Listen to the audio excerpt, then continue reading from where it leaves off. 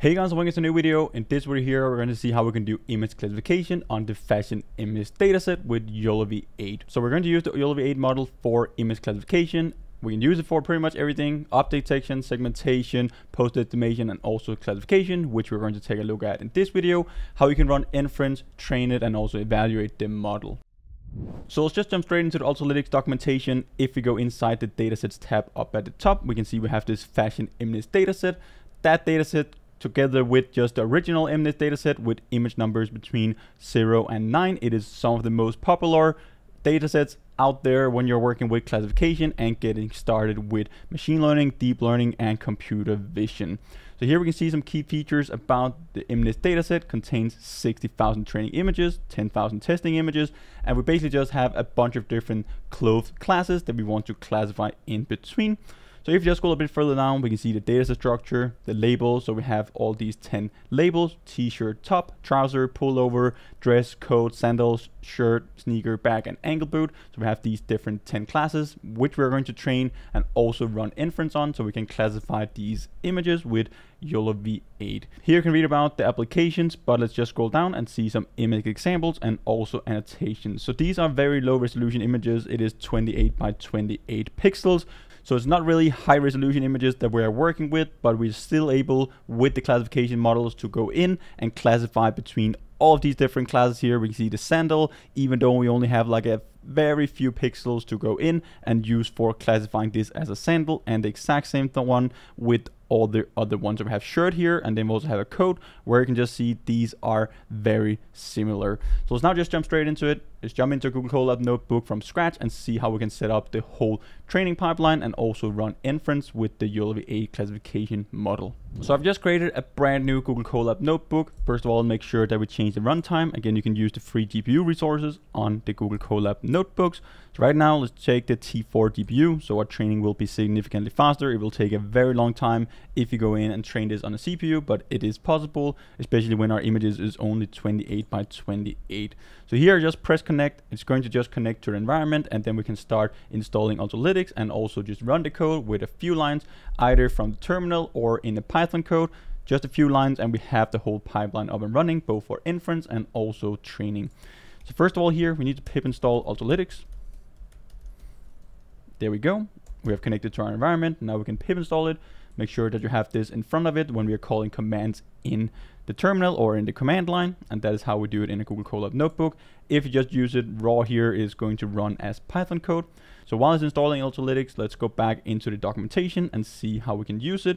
So right now let's go in and use the example with the code. I'm copying it and then I paste it directly in here. So from Ultralytics, we're going to import YOLO and then we have all the classification models. So if we go back again, we have all these different both tasks, but also modes, as you can see. So we can do detection, segmentation, classification, pose-estimation, and oriented bounding boxes. All of this is supported directly with the whole Ultralytics framework and for the YOLO V8 model. We have videos covering all of it, so definitely go in and check those out as well. The exact same way that you're calling it right now to pull this model. Let's just go with a nano model, but we just need to specify this CLS for classification. If you want to do segmentation, we just do SEG. Also have OBB and so on, so this is how easy it is to play around with the models. First time you're running this, it will automatically download it to your computer and we're good to go. So we can either use the pre-trained models or train a model from scratch. We can probably go in and try training a model from scratch, see how it performs. And then if it doesn't perform as good, we can go in and use a pre-trained one and try to just fine tune it on our specific data set. But we have a ton of data, 60,000 images in the fashion MNIST data set. So just go in and try to see how we can do a model from scratch with Ultralytics. So if we go back into the documentation again, I'm just going to make zoom a bit out so you guys can see what's going on. But we basically have this classification. You can also go in and read about it. We have all the pre-trained models available. But right now, if you want to build a model from scratch, we just need to specify this YAML file instead of the PyTorch file. So right now, let's go back again. I'm just copied it. Let's go in and paste it in. And then we should actually just have everything trained from scratch. It's just going to initialize the weight parameters randomly. So here we go, we have that one and the dataset, we can just specify that we want to use the fashion MNIST. It's going to download it automatically from the Ultralytics dataset registry. And then it's good to go. It will have the data YAML file with the whole data structure. We have the epochs. Let's just try to go with 100 to start with. And the image size is 28. So we're good to go now. We have installed Ultralytics. We're connected to a GPU. Let's run this block of code and see the training. After done training, let's see how we can run inference and also evaluate our model if it's good enough to use in our own custom systems. So it's pulling the model, it's unzipping all the data sets here. So we have the fashion MNIST, it is just exporting that. We have 70,000 images in total, but it's still only 28 by 28 if you're using your own data, like you only need a few hundred images if you're using the pre-trained model and then fine tune it on your own data set. Then we're only talking about a few hundred images, which is necessary to go in and classify between a number of different classes. So it's scanning the training set here. We have 60,000 images as we saw inside the documentation as well. We have our validation, 10,000 images for validation that we can run our evaluation on. And now we can see that it has started training for the first epoch. So here we can see the number of batches. We could probably train it for a bit less, probably like 30, 50 epochs. So this is probably just going to take ages. Let's just go up and just run it for 50 epochs instead. And then we can always take a look at the results or train for longer. But again, if you're using a pre-trained model, you might get better results. But again, I just thought that would be pretty cool to see how we can train a model all the way from scratch because you will need to train it for significantly longer. You'll need more data because you basically just initialize the weights randomly scroll down, it should go a bit faster now. We only have 50 epochs. So let's just later on here. Let's go in and take a look at the results. Once it's done training, we can do the evaluation and also run inference on a couple of image examples after to see if it's capable of classifying these 10 classes from the Fashion MNIST dataset. So our model is now done training after 20 epochs. It took almost one and a half hour. If we just scroll up to the top, let's see if the losses was act like decreasing and also the top one and top five accuracies was basically just taking the classes in the top one and also top five to see if those are correctly predicted. So if we scroll all the way up, we can see that our loss starts at a pretty high value and basically just decreases over time. If I scroll a bit further over here to the right, we should be able to see the top one and also the top five percentages where within the top five, we pretty much just have 100% at the end where it starts out um, a bit lower at the top. So we can see that our model learns over time. In the start, we only have like top five, but we only have 10 classes in the whole data set. But if you take a look at the top one, so here we have around 70% um, predictions, which are correct. And then we basically just keep increasing for the number of epochs and at the end we end up with around 90% in our top one accuracies.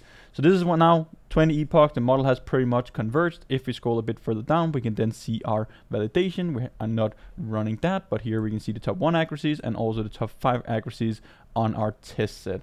If we scroll a bit further down and also take a look over here to the left, we then have our directory. So we have our runs, classify, and then we have our train. If you go inside our weights folder, you will get the best model and also the last model. So that will be for the 20th epoch. We can see the confusion matrix. If we just take a look at that, here we can see that this is all the classifications. We have the true values down here, so the ground truth, and then we have our predicted values. Ideally, all the values should be in the diagonal. So this is actually like a pretty nice way to see how does my model perform in general, and also is there any specific classes where it is failing. So overall, it does a pretty good job. We can see we have a lot of values here. So when what the true value is actually like six, it was predicting a lot of different stuff here to the left. So we can see there's a bit of problems with this sixth class here, but in general, it looks pretty good. If we take a look at the results, we can also see all the training graphs. So right now we can see the training loss and also the accuracies. So they have pretty much converged after 20 epochs. The losses still going down a bit, but is kind of like converged here. Validation train loss goes down and also the accuracies, they're going up and they're converged here at the top. So yeah, we have a fully trained model from scratch. We initialize the random weights. This is not a pre-trained model all the way from scratch. Could maybe get some higher values if we were using the pre-trained ones. Could go in and tune the hyperparameters and do a lot of stuff, do multiple iterations. If you just take a look at one of the batches, so here we can see an example of a batch where we're predicting it. So if I'm just zooming a bit in, again, we have very low resolution images. But here we can basically just see the different classes, which is color coded for which of the ones that are predicted. So if we scroll a bit further down, we can then see this is how we can do evaluation. Right now, we don't really have any um, data inside of our validation set. So if we scroll into it, we only have test and train, but again, we can just specify that we want to run it on our validation set, but we did that up with our confusion matrix and also at the end.